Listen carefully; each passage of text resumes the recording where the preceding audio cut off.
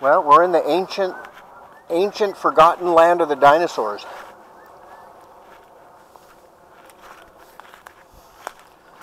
I'm looking for the T-Rex.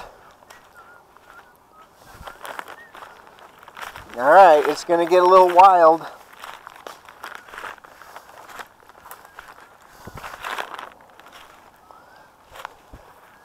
Try to step on top of stuff. You okay back there?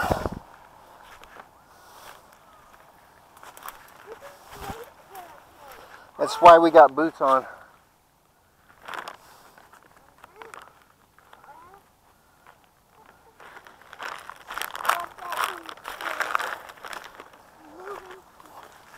Look at that thicket. Oh, look at that. Look at that, Watson. Whoa. What do you think?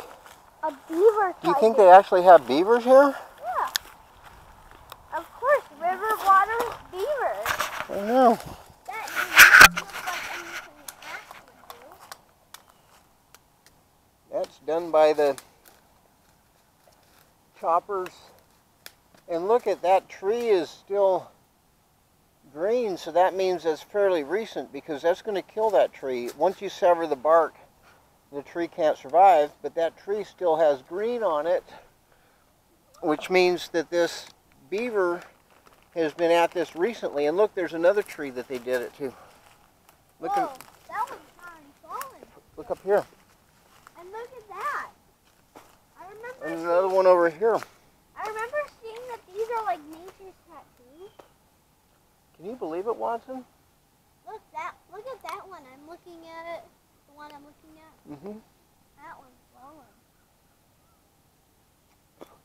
I Ah, it think- doesn't work. I think this tree might be still alive because of this.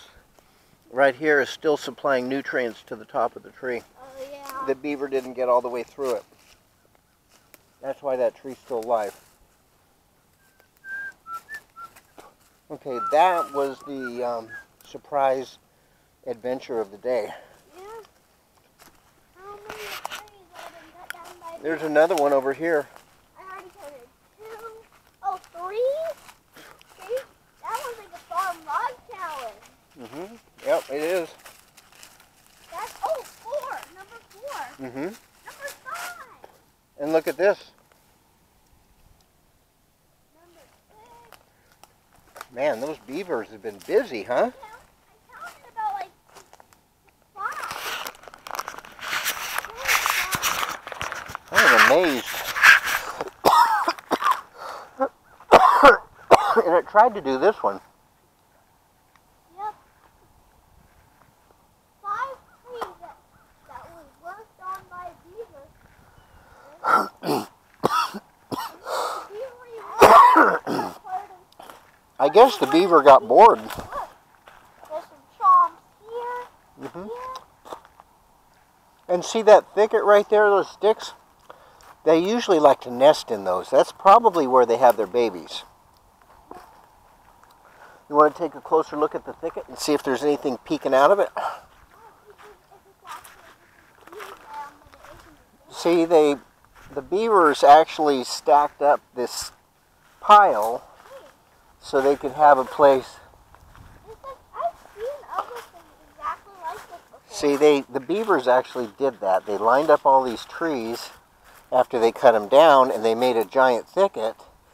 and then in the bottom of the thicket, that's where they have their babies, and that's where they live. I see, I see multiple of these. They use it for protection, but mostly they dam up creeks. I've never heard of them doing it on the side of a lake, but I guess I guess now we know, huh? Yeah, crazy. Are you recording this? Mm-hmm. I've seen more things exactly like this. Yeah, this is amazing. I, you know, in all my years, I've never come across anything like this. Although where I grew up in Beulah, Colorado, I think there were some still some beavers left. All right, let's work our way out.